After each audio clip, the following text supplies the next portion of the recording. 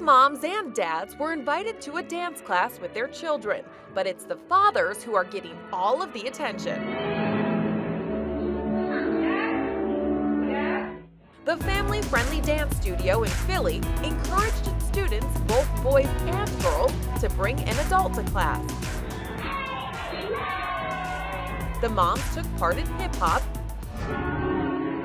and the dads ballet. Well, we think that's ballet.